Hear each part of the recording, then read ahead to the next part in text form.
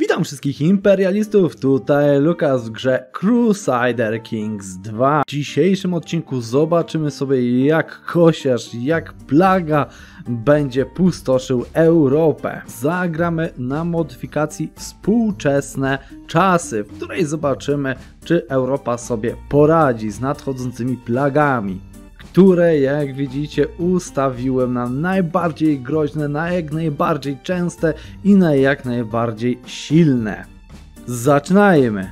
Dodatkowo dodam jeszcze, że grę będę obserwował z trybu obserwatora. Zobaczmy jaką mamy sytuację startową. Na początku na świecie nie ma żadnych epidemii, pandemii, niczego. W Polsce rządzi król Andrzej z Polski, z domu Duda. Żonę ma Krystynę Chosicko. Nie mówcie mi, że 500 plus nie działa, bo widać na tym przykładzie, że działa. No ale, ale zobaczmy jak tutaj się prezentują nasze szpitale, których w sumie nigdzie nie ma. No to w sumie Polska odzwierciedla jakoś ten stan swojej służby zdrowia. Ekonomicznie prezentujemy się nawet dość dobrze. Na stronie Enebax obecnie mnóstwo wyprzedaż dla dziewczyn, topiące ceny, sezon Fortnite drugi oraz e, mnóstwo dodatków za Europę Universalis 4. W promocyjnych cenach z kodem LUKAS 3% taniej. Pamiętajcie! Może nie tak jak Francja, ale dobrze. Ale zobaczmy, co tutaj przyniesie nam przeszłość, potem przyszłość. Nie wiem, czy to uśmiech losu, czy coś, ale pierwsza epidemia zaczyna się tuż przy północnej granicy włoskiej na Słowacji, tuż obok Włochów.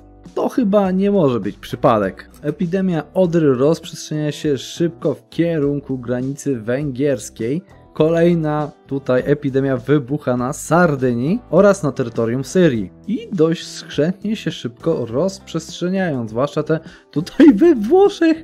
Jak to szybko zajmuje całe tutaj wybrzeże. Tak samo tutaj, zobaczcie, już do granic Izraela do, dotarła kolejna choroba.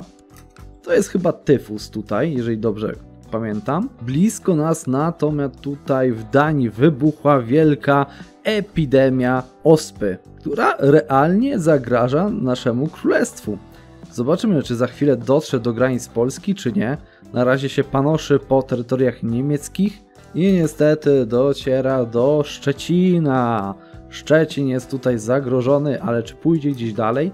No jak widzimy, ospa rozprzestrzenia się dość skutecznie i dość szybko dotarła aż na wyspy dzięki szlakom handlowym. No, no, no, czy Europa będzie na to gotowa, czy będzie gotowa na wielką epidemię ospy? Zobaczcie dalsze prowincje w Polsce, również padają, doszła ospa aż do Poznania, Wrocław padł, Słupsk padł, również pierwsze przypadki tutaj zanotowano. I na szczęście sytuacja została opanowana dwa lata później. Epidemia ospy jest już tutaj powstrzymana. Nie no, mam nadzieję, że tutaj powód śmierci naszego króla i władcy nie jest za bardzo proroczy. Kolejna wielka epidemia ospy rozprzestrzenia się od Wenecji aż po całym tutaj wybrzeżu włoskim. Jak na razie muszę przyznać, że Włochy stanowczo przodują jako miejsca epidemii w tej grze. Ale zobaczcie, co tutaj yy, gorączka bagienna, nie wiem jak to nazwać po naszemu, rozprzestrzenia się po terytoriach francuskich, po, przejmując kolejne obszary. Do rozprzestrzenia się praktycznie niepowstrzymana. Nie wiem od czego to zależy. Zajmuje bardzo bogate terytoria i zbiera dość śmiertelne żniwo. 2030 już prawie za nami, ale na świecie nie ma już jakichś takich dużych outbreaków. Troszeczkę tutaj we Włoszech, północna Francja, troszeczkę w Konstantynopolu Turcji. Bardzo dziwne jest to, że w Indiach nie było jeszcze ani jednej zarazy. Chociaż widzę, że tutaj choróbsko z Tunisu znowu przywędrowało do Włoszech. Włochy chyba wszystko zbierają, co tylko mogą, każdą jedną chorobę. Na razie widać, że dość spokojnie się dzieje w tej Europie. Ale spokojnie, proszę Państwa, jeżeli się nic ciekawego tutaj nie wydarzy, ja mam coś specjalnego przygotowane. Bo tak patrząc, to nawet po krajach za bardzo nic tutaj się nie podziało. 20 prawie że lat rozgrywki za nami, a tutaj nikt nic nie zginęło. Krym wciąż pozostaje rosyjski, nie ma ukraińskich budowników, Białoruś istnieje. Za spokojnie się tutaj dzieje to to. A nie jednak Egipt jest Francją. O, o, w Turcji zaobserwowałem, że coś dzieje się poważnego. Epidemia odry się rozprzestrzenia 2037 i leci. Tutaj widać, że jest jakiś większy E, większa pandemia? Nie no, pandemia to jeszcze nie, bo to ma, musi mieć skalę światową, a na świecie to tylko... Co? Znowu z Danii? Czemu to przywędrowało znowu do Polski? Nie! We Włoszech tylko jakaś mała tutaj epidemia gorączki bagiennej. Czy coś takiego.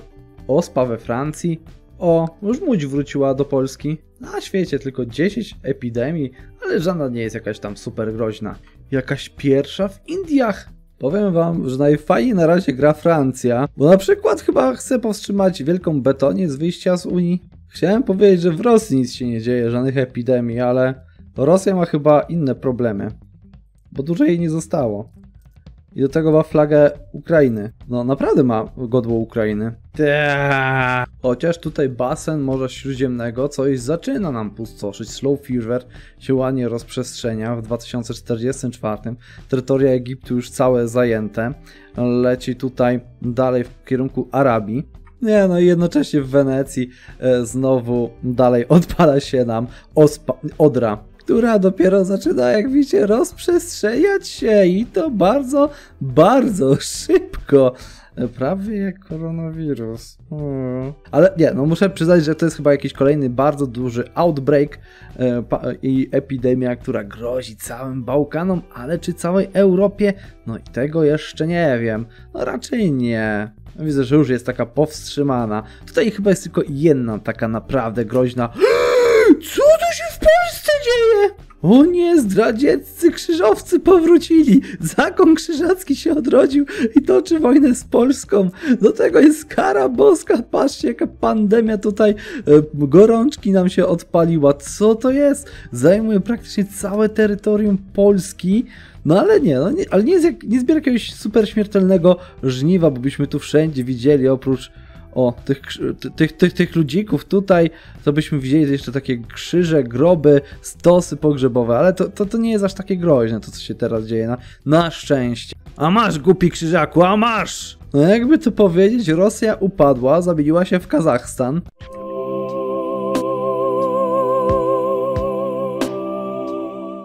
Europie czas powoli płynie, jak widzicie, jedna, druga, trzecia, czwarta, piąta epidemia, ale nic strasznego tak naprawdę się cały czas tutaj nie dzieje. 2050 właśnie się pojawił, no i chyba, chyba czas tu zrobić coś złego, coś czego nikt by się nie spodziewał. Chociaż tutaj jeszcze epidemia Ospy się rozprzestrzenia we Włoszech, również rozpoczęła się na Sycylii i leci tutaj w górę, ale czy poleci coś dalej? No nie, już, już ją wytępili. Ale muszę przyznać, że Włochy to jest to miejsce, gdzie standardowo mamy najwięcej epidemii w CK2. Drugie w kolejności jest tutaj terytorium Danii. Bardzo często się tutaj pojawiają jakieś epidemie. Trzecie to tutaj pogranicze Konstantynopola. I powiedziałbym, że północna Francja, chociaż teraz tutaj nic nie ma, ale gdzieś tutaj były bardzo częste epidemie. Łukaszenko w Polsce i na Białorusi. Oby nie.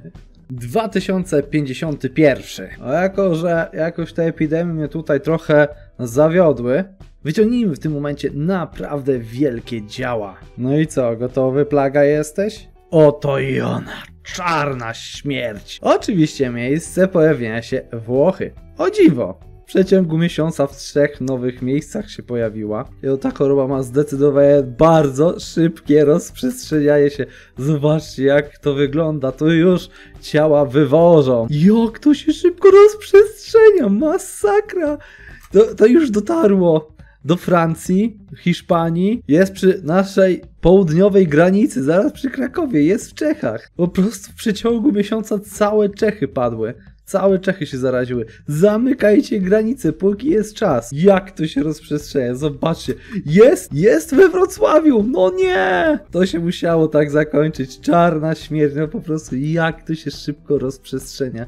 No nie mamy szans żadnych. Żadnych szans tutaj nie ma. Włochy praktycznie, grób na grobie, kamień na kamieniu nie został. Zobaczcie ile tu się stosów pali w tych Włoszech.